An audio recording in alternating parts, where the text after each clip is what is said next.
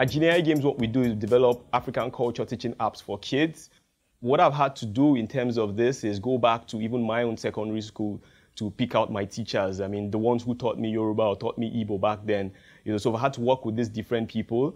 What they've done is they've helped me in terms of you know structuring this content, and and and until date, what, what I have with them is you know a good relationship that ensures that I can go back to them for vetting of this content or even updating of the present ones we have. Interestingly, I mean, the times I've spent with customers, I mean, specifically, it's been because we build mechanisms into our applications that allow for these customers to reach out to us with feedbacks and things like that to better, bet, to, to better, you know, uh, our products going further.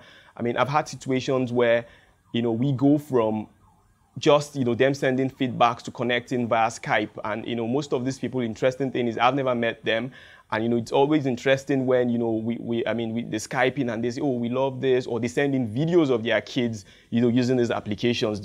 My team we have a mantra which we call push, and it's you know to continue pushing until something happens. So that's how we keep living every day.